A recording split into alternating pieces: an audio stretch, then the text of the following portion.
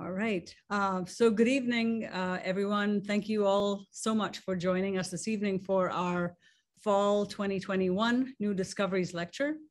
Uh, my name is Minnie Wadhwa, and I'm Director of the School of Earth and Space Exploration, and it'll be my great pleasure to make the introductions to our speakers for tonight. Um, also, I just want to make note of the fact that uh, uh, helping out with some of the logistics here tonight are um, Kim Baptista, Meg Hufford, Alicia Hyatt, and Rick Alling from the School of Earth and Space Exploration. And I want to thank them each uh, for helping to make this uh, event possible. So um, the presentation tonight uh, for the fall edition of the new Discoveries Lecture is entitled The Universe Beyond Hubble. And so what you'll hear uh, is, is going to be very exciting um, new stuff about uh, the next, um, next generation of space exploration with the upcoming launch of the James Webb Space Telescope. Uh, the lecture is basically part of a, a series of events that ASU is actually hosting as a community partner with NASA across the state of Arizona. Our goal is to encourage uh, broad participation in Webb-related events across Arizona. And so this event tonight is actually part of, um, as I mentioned, a series of events that'll be taking place between now and December when the Webb telescope will launch. And so what we've done is we've created a web calendar of events, uh, which you can find on our school's website.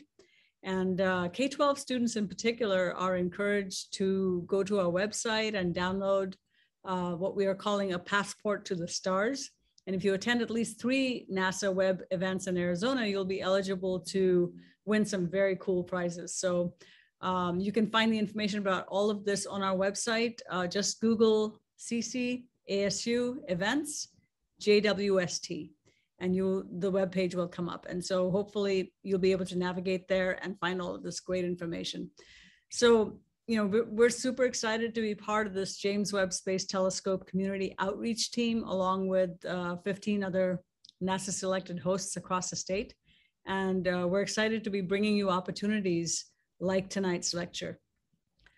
So um, tonight, you know, we'll learn about how uh, research in the coming years with the James Webb Space Telescope will complement Hubble's discoveries and will transform our view of the universe. And you'll learn about uh, the role that researchers and, and students here at ASU and the School of Earth and Space Exploration will play in this research and will push the knowledge uh, of the universe beyond anything that we ever imagined. And so uh, without much further ado, uh, let me briefly introduce you to our four speakers tonight.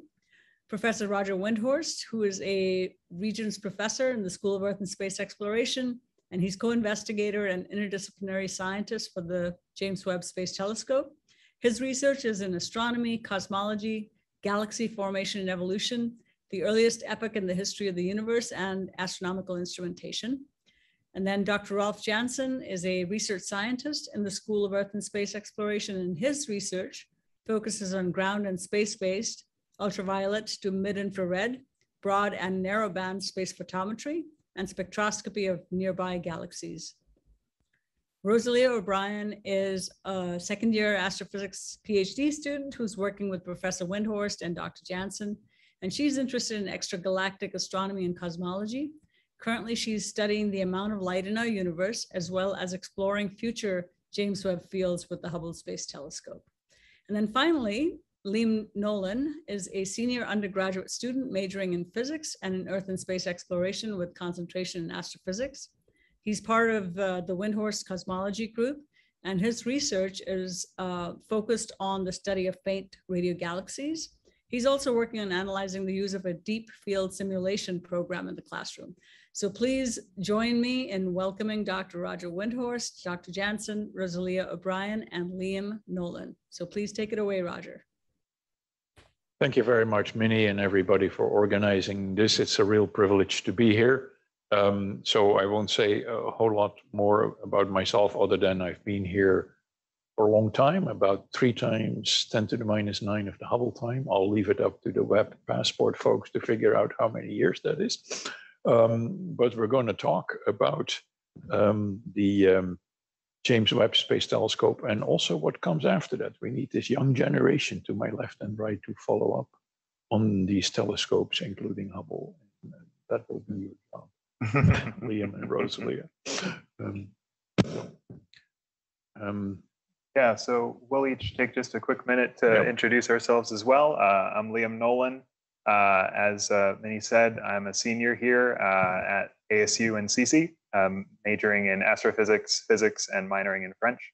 I'm from Reston, Virginia, and uh, I've been with this group for a little under three years, uh, and I'm very excited to be here. Hi, uh, yeah, I'm a second year astrophysicist. Um, I'm working for both Rolf here and Roger, doing a bunch of extragalactic and cosmology work that I'm really excited about. And yeah, I'm excited to give some perspective from a graduate student on, uh, I guess, why James Webb will be fun and exciting. I'm uh, Rolf Jansen. I uh, was born and raised in the Netherlands uh, before I came to the US to ASU. And then I stuck here because there's so many exciting things that are going on that uh, didn't want to leave. I'm mostly interested in figuring out how the galaxies that we see in our local universe actually got to be.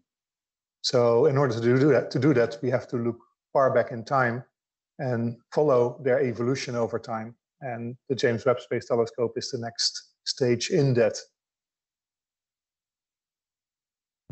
Thank you, Rolf. Um, so we'll we'll start with a, a, brief synopsis of the Webb telescope itself, and then uh, Liam and Rosalia and Rolf will each speak to the various science aspects, and then we'll take some answering questions. Uh, Kim asked me specifically to have charts ready, and, and I have a one-hour talk. I didn't cut it, so you get the entire thing, but I'm not going to talk for an hour. Trust me. Um, so full screen. If you look at the first chart, um, Hubble is to the left, and it actually was first thought of, conceived in 1946 by Lyman Spitzer to use a German V2 rocket and bring a telescope into orbit. NASA didn't latch on until 1965 when they first started studying it, and it was first funded by Congress in 1973. Still running today, 31 years um, after launch, and it's like NASA's Duracell bunny or Energizer bunny, and but it won't live forever. It's already between 12 and 16 years past its design lifetime. And so, um, since 1996, we've been talking about and, and studying and conceiving and, and then fund, gotten funded by Congress and building the James Webb Space Telescope that officially started in 2002 when I joined the program and Rolf also around that time. Um, and that telescope will be launched in December, on December 18, if all is well, from Kourou in French Guiana. It's a NASA European Canadian collaboration. So we have a, a, European launch vehicle. And maybe at the end, I'll have a few charts on the next generation telescopes here on the, on the right that were uh, conceived not too long ago, the Giant Magellan telescope in the third panel.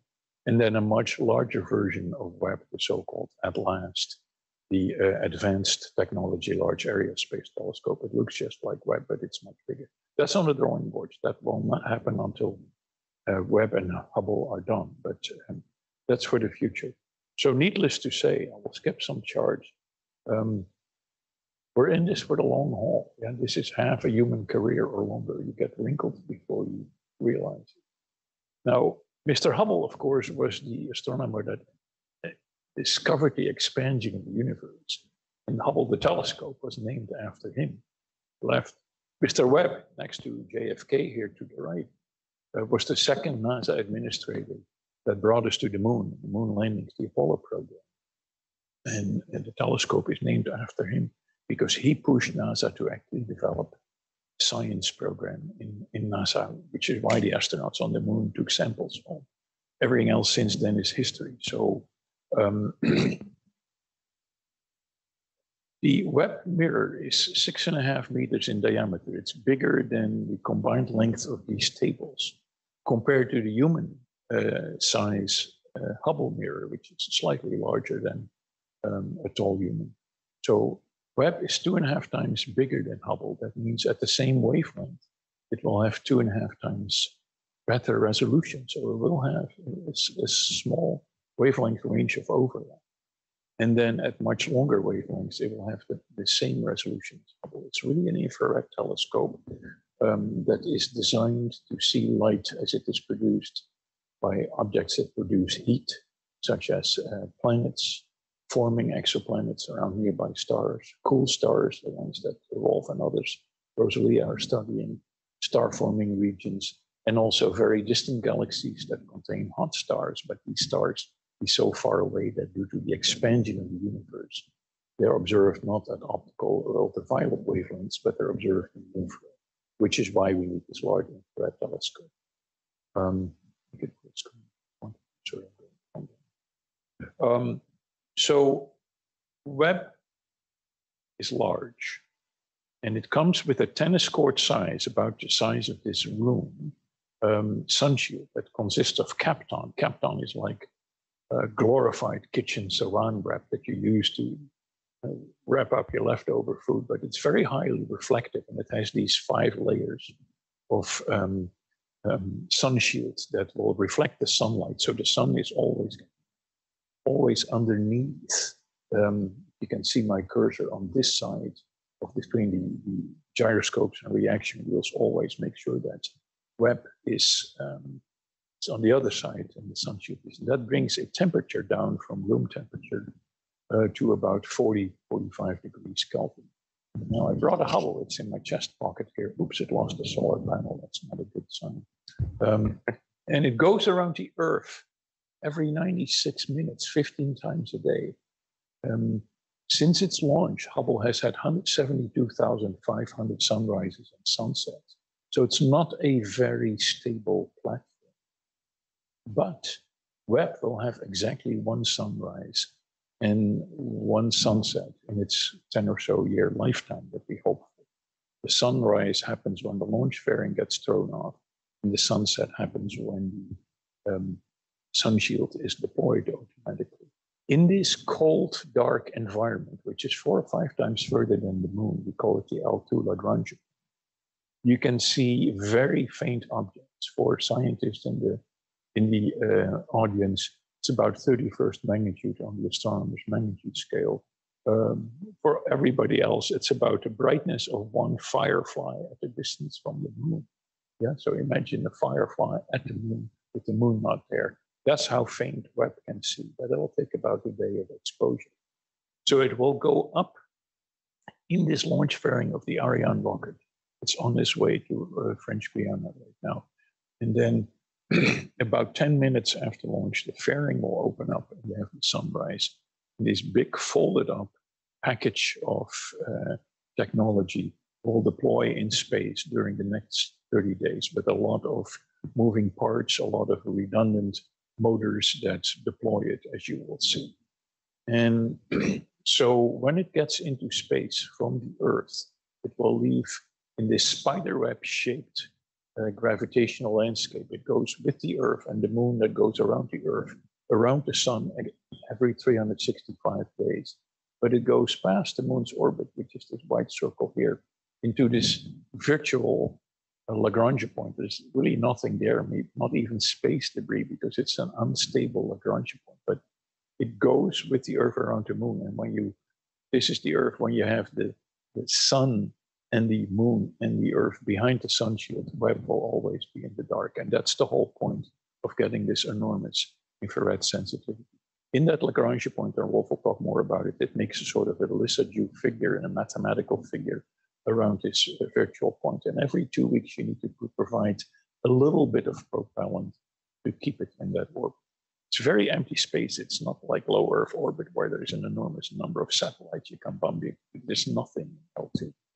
So once it deploys, it moves the secondary mirror, which is the mirror that bounces the light from the primary into the instruments, across its head in front, as you can see over here. And that has been tested many times on the ground. Um, and then there's two side panels, each containing three of these beryllium mirrors that move from backwards to in front, so that the telescope at that point is almost, not quite, in focus beryllium mirrors are about half the size of stable. They're hexagonal. They're, they're made out of this very lightweight material that looks like aluminum, but it's, it's much lighter and it does not expand and contract very much when you go from room temperature to 45 Kelvin. Here's the family portrait of all the hardware that has been made in the last 10, 10 15 years. The gold coated primary mirrors in the upper left. Uh, there's 18 of these segments and it falls. They sit together like a honeycomb. Secondary tertiary mirror. The secondary is over here before it was gold coated. And then all these support structures and instrument packages and um, various other parts have been assembled. Um, like a big thing you build out of Lego, but a little more fancy over the last 15 and extensively tested in the last five years to make sure that the whole thing not only deploys but also works. So very briefly, the light comes in from the left here, bounces off the primary, off the secondary, into this baffle, or we call it the doghouse, into this big uh, package that contains the instruments. Um, some more photographs of the various hardware um, are seen over here and on the next page. Um, I'll skip through that a little more quickly. Here you can see the mirrors as they were covered. I asked specifically 15 years ago if we could have a cover on the mirrors in case we were staring at the ceiling for a couple of years in case the project was delayed and we didn't like to do that, but eventually they did it. So glad we had them. How do you get these covers on these gold coated, very precise mirrors? Well, the next slide shows you uh, how we do that. We have two Olympic divers, well, on diving board NASA technicians in clean room bunny suits that very carefully lift each cover on and off the mirror. So, of course, the, the, telescope is now done and it was shipped without the covers, but we have protected it from um, dust and, and, and, water and what have you not over the last decade. Uh, here you can see the telescope as it was finished on a merry-go-round in Building 29 of Goddard Space Flight Center in Maryland with the primary mirror uh, facing you, the secondary mirror over its head here. The uh, NASA logo is on the wall here, the. And in the next picture, you can see the whole team that's run by John uh, Mather, the Nobel laureate. Um, you can see the NASA logo on the wall is now behind you, and you can see it in the mirror. Of course, it has been mirrored and it's magnified. So the logo is magnified from space telescope it works. Um, this, of course, was not completely focused yet. That was something that came much later. Uh, we would actually um, uh, ship the telescope to a big container where it was tested for its proper operation. Before that happened, four instruments were mounted behind, behind uh, the telescope. There is the Canadian Fine Guiding Sensor over here that holds the telescope still while it's locking onto two guide stars so it doesn't move during the exposure. And then there's the near infrared camera made by our colleague Marcia Rieke at the U of A, and then two European instruments, a mid-infrared instrument over here, and a mid-infrared spectrum. And this entire package has now been shipped to 16 European countries and Canada and the US, of course, 27 states in the US that were involved in building this. I'll skip over some technical details. You may ask me the details uh, as we go here. You can see the uh, secondary mirror being deployed. technicians running around. When that happens, you need to offload the weight of the mirror uh, so that the tiny motor that does this in zero gravity space doesn't get uh, overloaded um, um, on the ground.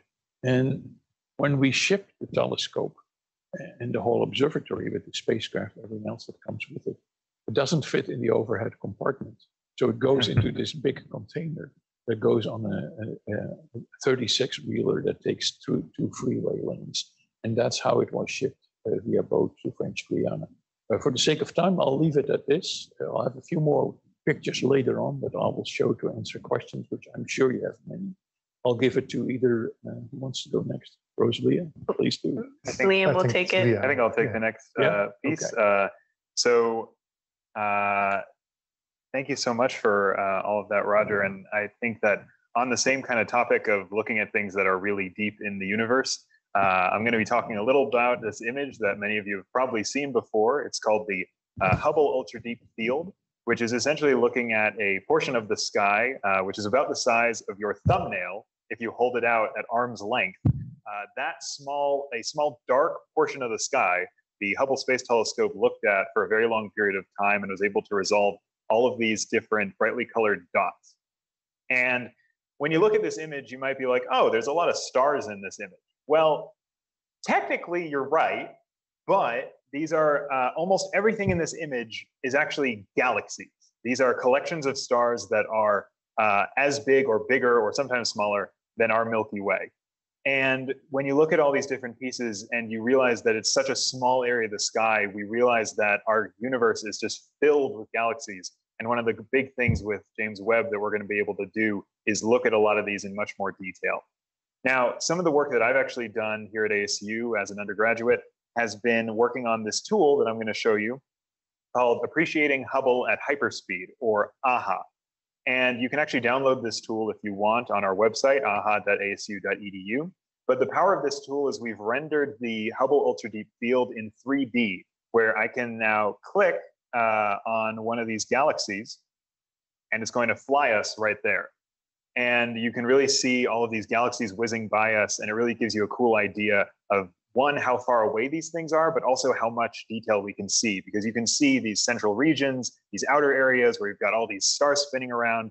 And I think all this is really neat.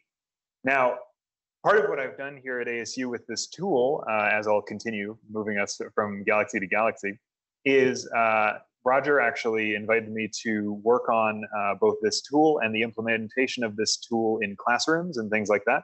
Uh, and I designed a uh, study where we used this tool in one of Roger's classes um, in order to see how it affects the way different people learn and how people can retain astronomy concepts. Uh, this work that I did actually uh, ended up in a paper that I wrote, which was uh, accepted for publication uh, this past summer. And so I'll be the author on a paper that we'll be able to publish soon, even as an undergraduate. And I think that's really neat and speaks to the different opportunities here at ASU. Something else that I've been working on for a fair period of time has been uh, looking at using a field that uh, Rolf actually developed uh, called the North Ecliptic Pole Time Domain Field. I've been looking at the properties of different galaxies in that field. Uh, and then I can actually turn us over to Rolf to maybe talk a little bit about that. Okay, thank you, Liam. So time domain science is a hot topic now.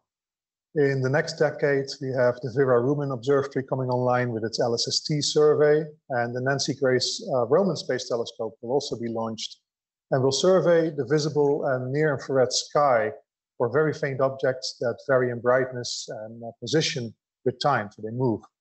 And that includes transients like supernovae. So this will enable time domain science in the solar system, in our galactic neighborhood, and uh, at cosmological distances. But it begs the question uh, whether JWST can do time domain survey science, and if so, what would it add?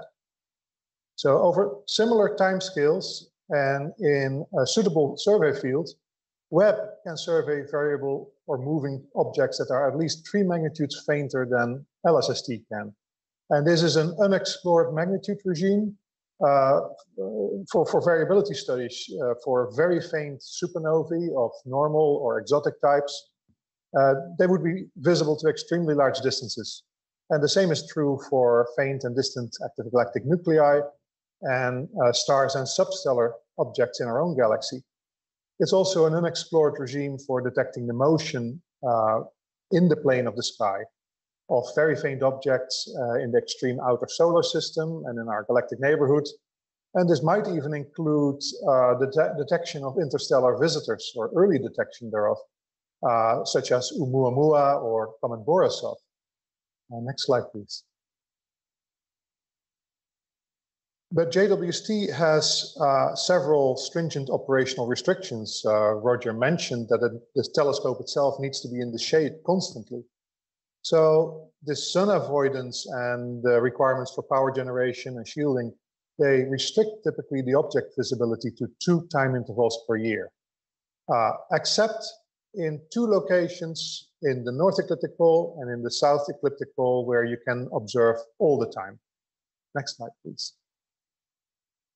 With only plus or minus five degrees of nominal uh, roll angles, uh, as seen in the upper right uh, panel of this figure, the date of observation dictates the orientation of your instruments on the sky or any given target, except again in these two special locations, these continuous viewing zones. Next slide, please. So if we want to enable time domain science uh, with JWST on uh, timescales from minutes to over a decade, then we need a suitable survey field. And that survey field must be within these two special locations. And that unfortunately means that we cannot use the existing deep fields that are built by Hubble, like the one, the Hubble Ultra Deep Field, or by Chandra or other missions. So let's take uh, a near-infrared look at the northern and southern continuous viewing zones.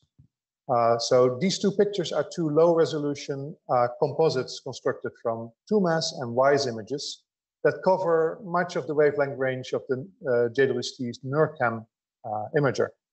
And even by, by eye, the northern one at left looks much cleaner and emptier than the southern one at right, because the southern one contains the Large Magellanic Cloud. So it's great if you're interested in the Large Magellanic Cloud, but not if you want to look really, really far out into the universe.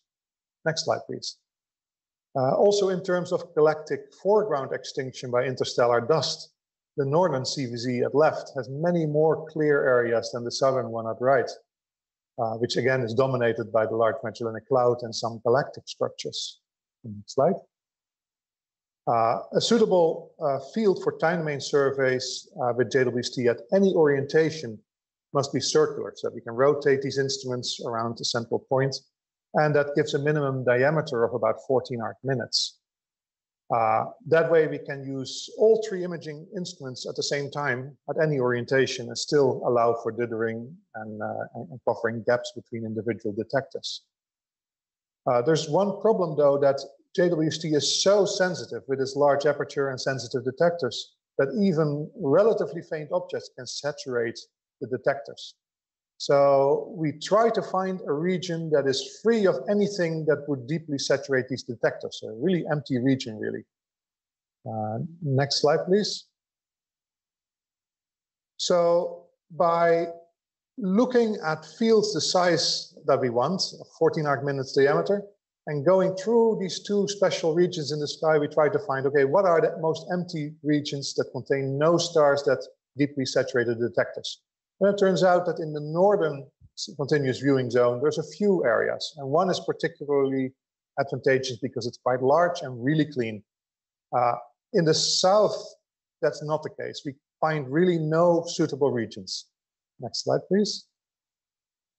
Uh, and the very best of the regions in the north that we found is what we call the James Webb Space Telescope North Ecliptic Pole Time Domain Field. Uh, because it's also very far away from the ecliptic, we also don't have to worry too much about the zodiacal foreground. It's the lowest we can get in the sky. Next slide, please. A bit fortuitous is that this field looks uh, out of the galaxy, but relatively close to the plane of the galaxy. It's about 33 degrees away. And even though it's very clean, we still have a fairly long sightline through our own galaxy. And that makes this field very suitable for galactic time domain science as well. Next slide, please. But to verify that this is really a, a field as good as a Hubble Ultra Deep Field, we uh, use the, the twin 8.4 meter or 27 feet large binocular telescope here in Arizona. It's the biggest uh, optical telescope in the world to see whether or not we saw any hint of something that would make this not a good field. And similarly, with the six and a half meter telescope, the MMT, also in Arizona, we looked in the near infrared whether that was still the case. And the good news is there's no bright red stars that could possibly saturate uh, the detectors during very deep extragalactic surveys. Next slide, please. And we also, uh, that was led by uh, Roger Windhorst, uh, we got very, very deep VLA radio observations of this field. And uh, Liam actually worked on some of that data, as he mentioned. I think I've seen this. Yes, you've seen this. Uh, uh, next slide, please. so while the selection of this field and some of the verification took place right here at ASU and in Arizona, uh, a lot of people uh, got excited by this field and the community has been incredibly supportive in uh, covering this field across the electromagnetic spectrum, from hard X-rays all the way to very long wave radio. Uh, next, please. And this is just a, a snapshot of all the uh, different observations that have taken place in this field. And this is by uh, collaborators all over the world. Next slide. Rogier Windhorst is going to devote a large chunk of his uh, GTO time as interdisciplinary scientist to uh, observe four spokes in this field, sort of get the first characterization of this field in the, uh, the near infrared at these very, very faint uh, brightnesses. And in parallel, we'll use the NIRISS instrument to get slitless spectroscopy.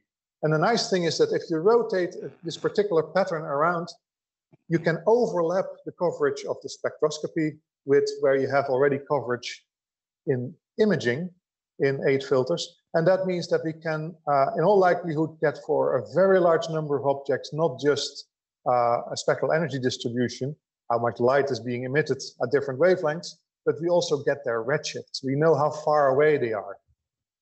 Next slide, please.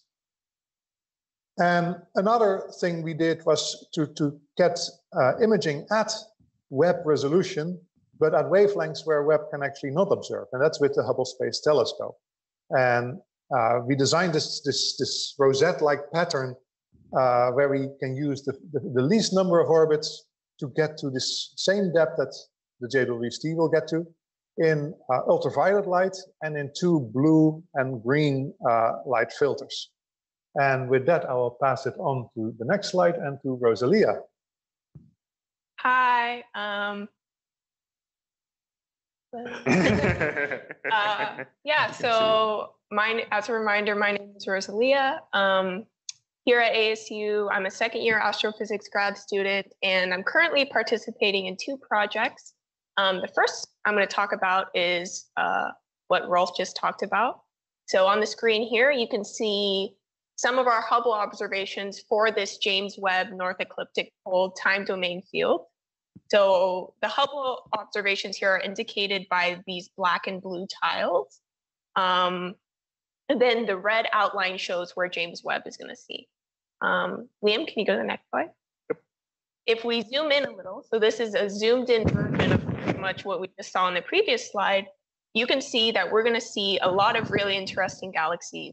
Um, almost everything in this photo is a galaxy. Uh, there's about only like, I think, two stars in this photo. So we're going to be learning a lot about uh, galaxies, some interesting properties within galaxies. Um, what makes James Webb looking at this field really interesting is, first of all, uh, James Webb is going to be looking at redder photons.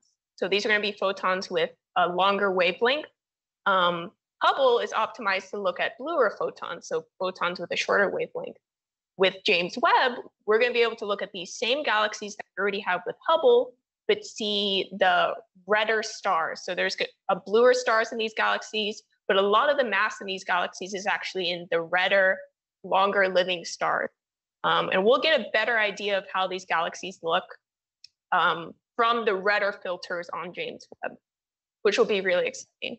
Um, something else that I'm really excited about for James Webb is in the same image, we're going to actually be able to see farther back in time because James Webb is going to be looking at these redder filters. So um, that's pretty much because if you look, the farther away you look in space away from us, um, galaxies actually get redder, and that's because of the expansion of the universe. So when we look at James Webb, in the same area you're seeing right now, we're going to see galaxies that are a lot farther away. Um, probably, hopefully, the very first stars and galaxies that exist, existed in our universe. Um, and that will be very exciting. Um, yeah, is there anything else on this? Move on to SkySurf. Great. Great. So can you pull up the Hubble deep field image? Yes, I can. I love this one. Great. Yeah. So this is a really popular image. Yeah, uh, Liam talked about it. Um, I think it was one of the first Hubble images we got where we could see as far back in time as we can in this image. So in this image, we're seeing almost the first stars and galaxies. Um, so some probably some of the dimmest, smallest galaxies in this image um, are like 12 to 13 billion years. We're seeing they're like 12 to 13 billion years ago, um, which is very close to the beginning of the universe because we think the universe has been alive for about 13.8 billion years. And maybe if uh, for anyone who's not particularly familiar, um, part of what Rosalia is talking about here is that the uh, the light from different galaxies actually takes us takes a fair amount of time to reach us uh, here on Earth uh, or in very low orbit. Uh, and so, what we often see when we look at things in the universe is we're going to be seeing galaxies that in much earlier in their history than we are in our history, because that light took the, uh, if they emit the light at a certain time, there's a certain speed of light, and so it'll take a certain amount of time for that light to reach us. Sorry Yeah. to interrupt. No, yeah, that's good. Yeah. And yeah, so this image is amazing already. Um, my second project is actually called SkySurf. This is probably going to be the project my dissertation's focused on. Um, and James Webb is still going to be really exciting for this other project. So if you look at this photo, um, if you look at just the dark regions, um, so most people, when they take an image with Hubble, they want to look at stars or galaxies. Um, but the actual detector on Hubble is actually still getting photons in these darker regions uh, that look black, but really we're still getting photons in those areas. So we are still receiving light. Um, and I'm actually studying that light to try and better understand how much of it actually exists. This light is pretty much coming from galaxies that are so far away in this image that we can't really see them, but we're still getting their light because there's nothing to block the photons from eventually getting to our detector. Um, we just can't. There's an actual galaxy there. Um, so that's really cool. Um, James Webb since, like I said earlier, since James Webb is going to be able to see farther back in time, um, we're going to be able to see the galaxies that we can't see in this image because they're too far away. So we can get a better idea pretty much of the total amount of light in our entire universe. Um, depending on what we see with James Webb, it can tell us a lot about the early universe and how galaxies formed to make galaxies like our own Milky Way today. Um, I think that's the most exciting thing about James Webb for me. Um, so James Webb is going to look at a lot of things. Um, and look at red galaxies far back in the universe, but it'll also look at probably like exoplanets and stuff. But to me, the most exciting thing is going to be the possibility that we'll see the first galaxies. Um, and yeah, I feel really lucky to be here at ASU because I've gotten all these opportunities. I'm only a second year grad student, so I'm not even halfway done. I've still gotten to participate in all this novel research. And yeah, I'm really excited for James Webb because of all the benefits it's going to have to what I'm studying now. Yeah. Well, once you folks to realize that this young lady has been here for only a year, but she already processed more than 220,000 Hubble images. So she does it very well and at the speed of light. Um, Maybe maybe Rogier can give us uh, a bit of a wrap up, and then we'll move on to questions. I think in just a just a minute. Well, while we're looking at this image, I want you to realize that this image is no bigger than one tenth of the diameter of the full moon. So imagine you have a straw, not a regular straw, but one of these little red stir straws. You look at the sky, that's how much area you see here. And that area alone already contains between 10 and 20,000 galaxies. And James Webb is going to look further behind the first um, curtain of the first billion years, where Hubble leaves off and where Webb, because of its infrared capability, will penetrate. We'll see these very early galaxies and stars. Um, should we answer some questions? I know there were quite a few, and I already um, um, put a few answers in the chat, but we'd be happy to do Q&A here. Is this on? Yeah. Yeah. Yeah, there's a couple really good questions um, in the chat. I think I don't know the answers to them. So I think, I think Kim's gonna read it, pick a couple Okay. and then they'll give it to us. Yeah, so uh, Matthew is asking, why are the mirrors hexagonal? So you want to mimic as large a mirror as you can, but you can't build a six and a half meter mirror out of such a thin layer of beryllium without it breaking. And so you make smaller pieces that are strong enough and stiff enough um, that you can actually um, support them. And because they're hexagonal, you can have, as you can see in any of the pictures, you can make them all, almost touching each other, not quite. There's about a millimeter or two in between, but they're very close. And then there's a mechanism behind the mirrors that very cleverly steers them and puts them in place to compensate for the thermal distortions that's on chart 11. And you can see behind the beryllium mirror, this is sort of this hexagonal honeycomb structure um, that's supported with six, uh, what we call hexapods, fingers that push and pull it in exactly the right shape to within much smaller than the diameter of a human hair. So hexagonal, like a honeycomb, gives you the best way of using the same kind of pattern and fill a large area. Thank you for that in-depth answer. Um, Ryan would like to know, is there a set of uh, the first few, th- uh, excuse me, is there a set of a first few things that they are planning to use the telescope to see? And if so, why were those items chosen to be viewed first? Ah, uh, so who, who will answer that one? Well, I mean, I Yeah. think something that, Yeah. you know, Rolf uh, talked about at length was one of the things that is going to be used during some of the guaranteed observing time that the group has is, is of course, the North Ecliptic Pole time domain field. Now, that's not a specific object, but we're going to be able to look at many, many objects in that field very, in a very, what astronomers call a very deep way. So spending a lot of time look in very high detail because you can collect a lot of photons, a lot of light hitting the detector. Um, and part of the reason, as we said, that was chosen is because you can look at it like any time of the year uh, without any kind of interference from other sorts of things around it. But there is also uh, a series of early uh, uh, early release science projects that were competitively selected by uh, from the whole community. Anyone who had a good idea could submit their proposal, and uh, those will be very very high priority things to show the full range of capabilities that the James Webb Space Telescope has.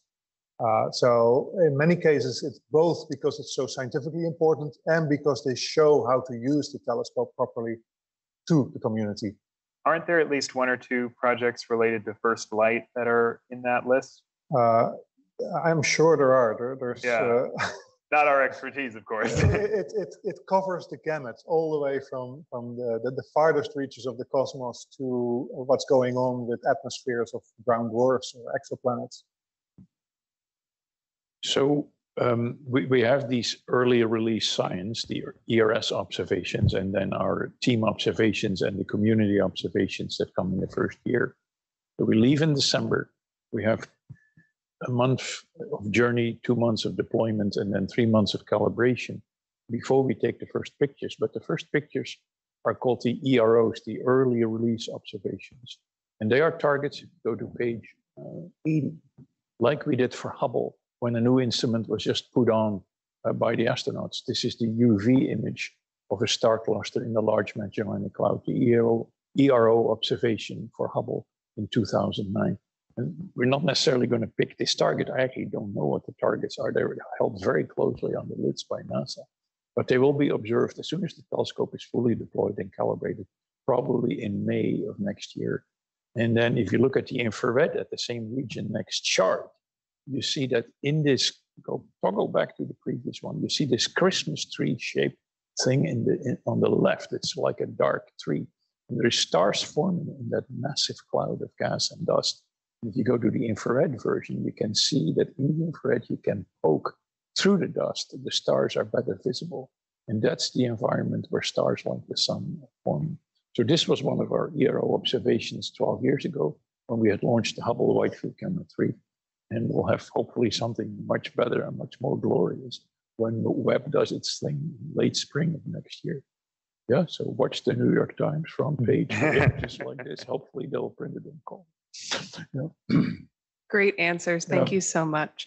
Uh, Matthew was curious, what kind of testing for shock and vibration did you have to perform to prepare for w, w, JWST uh, for launch? So what did you have to do for that? Ah, so uh, if you go to chart, um, sorry about this, um, chart 46, um, this is a very special test environment in Northrop, in building eight. And so they took the whole telescope and blanketed it up and put it on a shaking table where they do horizontal and vertical shaking to mimic um, what will happen during the launch in a few months. This was actually one of the most dangerous parts of the entire building of the telescope because they could not afford to have an earthquake during the you know half day that it would take to move the telescope from one building to the other where the acoustic and the shake room was. And then once it was safely mounted on the table in the shake room there was the, the el monte earthquake in, in la a few years ago which was a richter 4 so it wasn't too bad.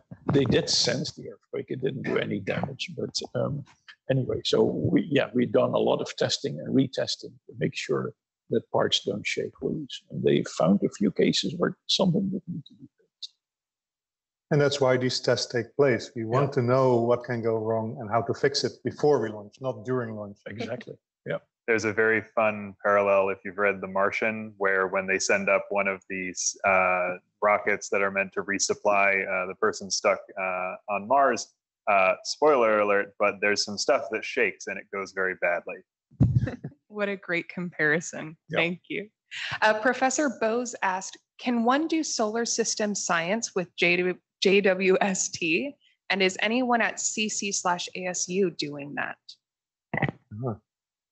Oh, you definitely can. Yes. Oh, yes.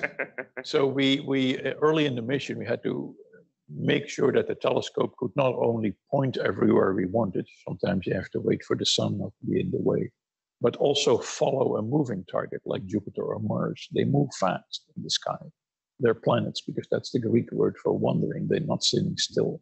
And so we have moving target capability, and we're going to look for, you know, storms on Jupiter and and uh, the atmospheric structure of Saturn and Jupiter and Saturn, and of course Mars. We will observe it with and without dust storms, and then of course Pluto and its moons and other things that no longer are planets. We'll look at carefully. So yeah, there will be a lot of uh, planetary science um, with the James Webb Space Telescope.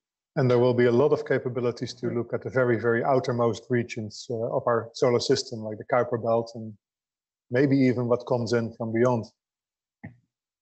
And then, of course, we're going to look for exoplanets around other stars as well, right? We're not satisfied with our solar system only.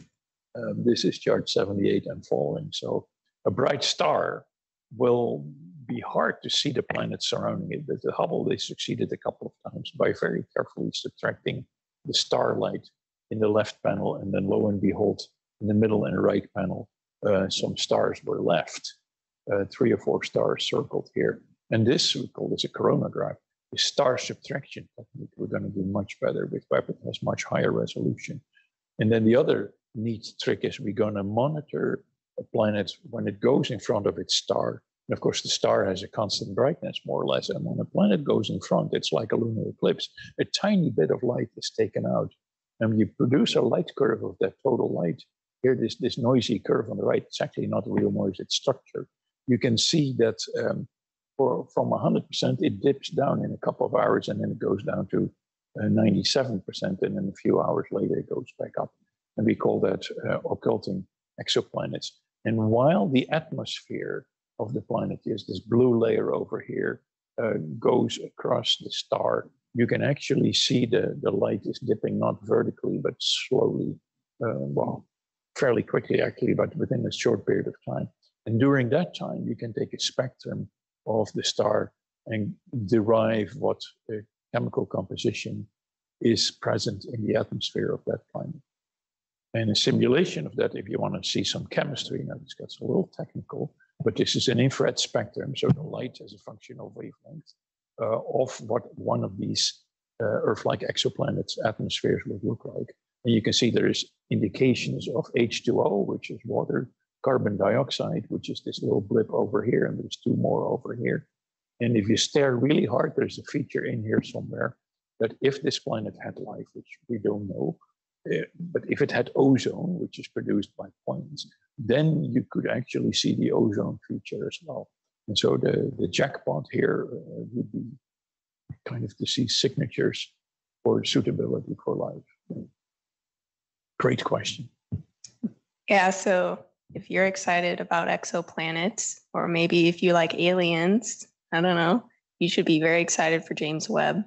Um, she also asked who at ASU is doing exoplanet mm. stuff. I know Michael Line does planet stuff. Yep. Who else? Sorry.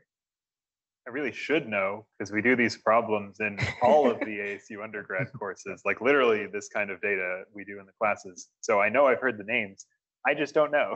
We have Well, a Professor Line does does the modeling of these kind of atmospheres, right? In Rolf's North Ecliptic Pole Field that Rosalia is also looking at. For all of you, tell us how many brown dwarf stars do you expect there?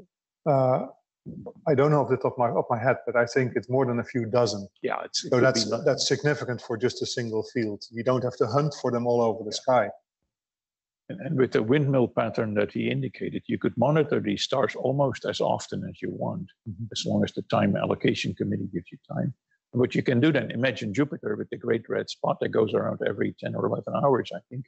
That spot is, is visible not, well, on Jupiter, of course, it is with a telescope.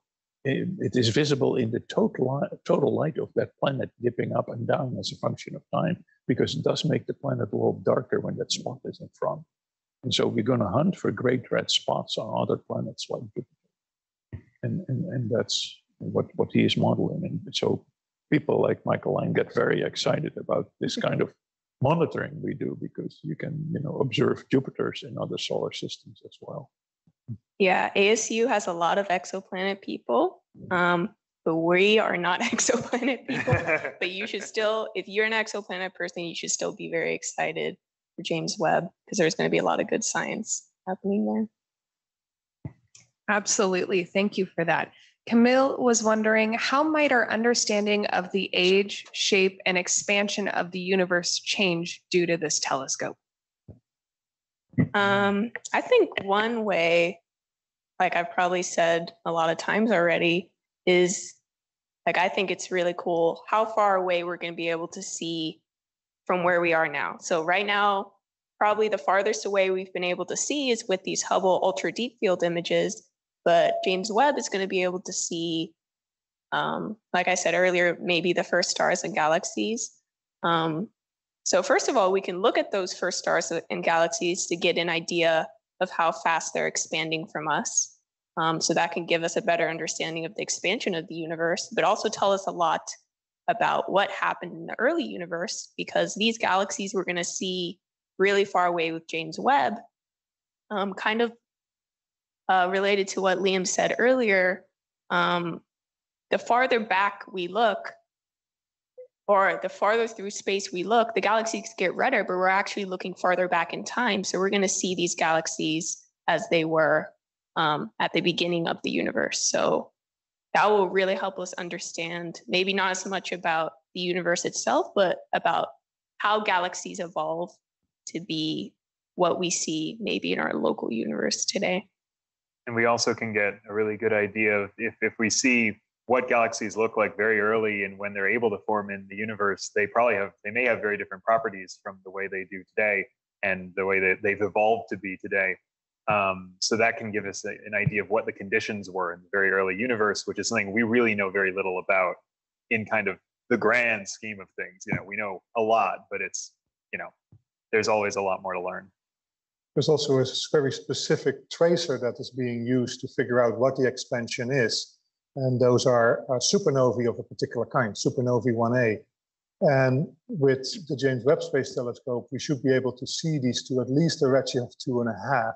And that's uh, almost two and a half times uh, uh, larger redshift than Hubble typically can still reach for these objects. And that is a sort of a sweet spot where predictions for any weird kind of expansions or deviations from uh, linear expansion uh, should have the, the, largest throw. We should be most sensitive to that in that redshift regime. So uh, that will be very, very exciting to see uh, how many supernovae 1A uh, we will get in fields that can be regularly monitored.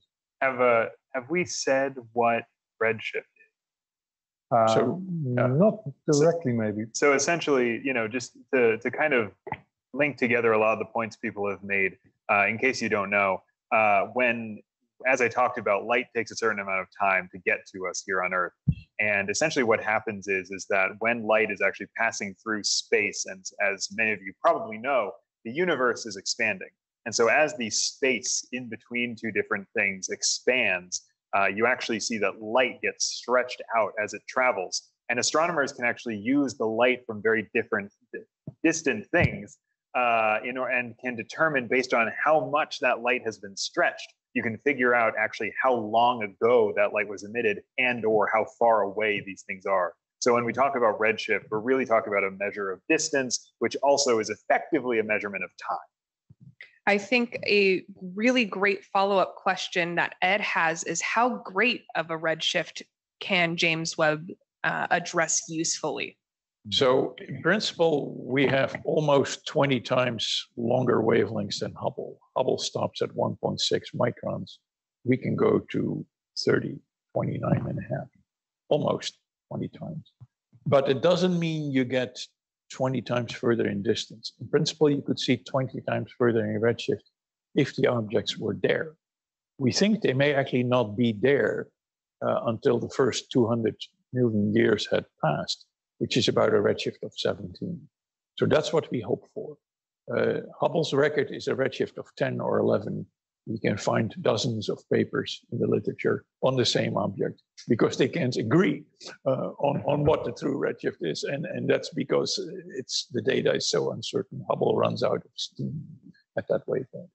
Webb doesn't have that problem. So Webb will see dozens, and, and if you go back to the ultra deep field, um, the colorful picture, dozens of objects past redshift 10.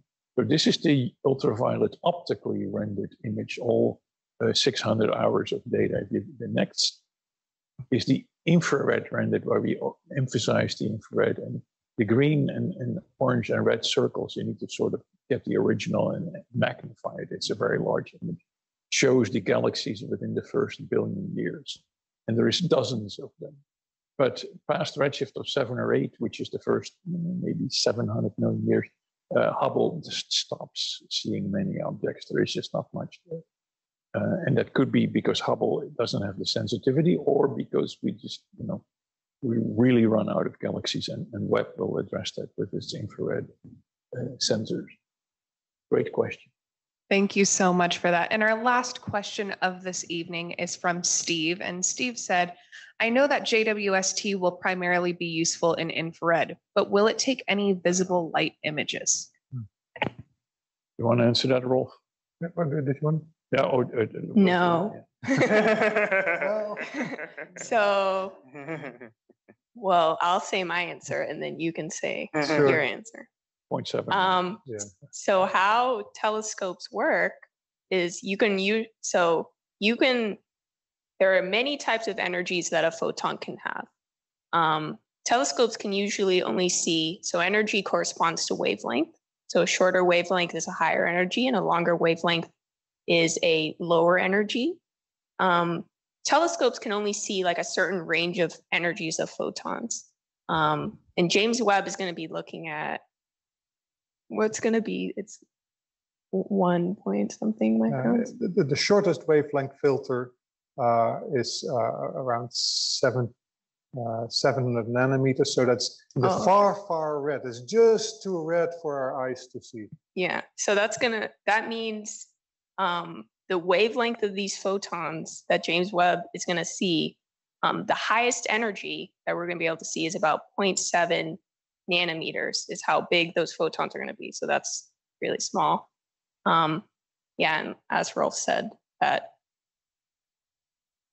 Yeah, so the Yeah. shortest wavelength is something that your eye can just barely see, far red, right? 0.7 microns, and, and that's it. So there's, if you looked, if, if you were launched with the telescope and sat behind the, the mirrors and you were looking, you'd only see a very narrow wavelength range, and that's not the fault of James Webb. That's the fault of your eyes. Mm-hmm. oh no.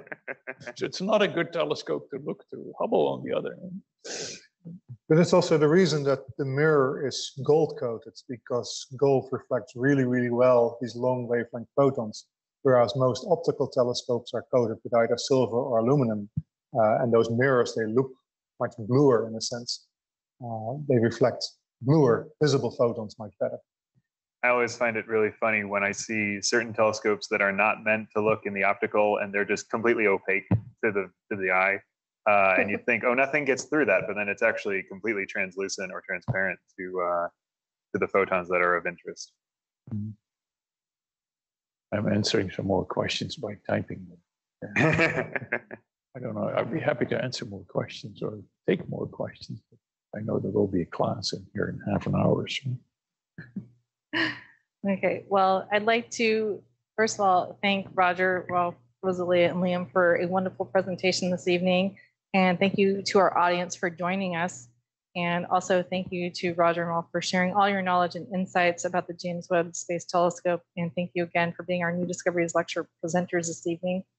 And thank you to everyone who attended tonight's lecture. I hope you'll join us in the spring when we resume our New Discoveries Lecture series and showcase our current The research. Wi-Fi went out. Oh, is that- that is funny timing. We lost every. Well, actually, yes. I still see. I can actually. Everyone is out of the room except me and Meg and ASC and like the main Oh, thing. I'm still here. oh, You better believe I'm still here.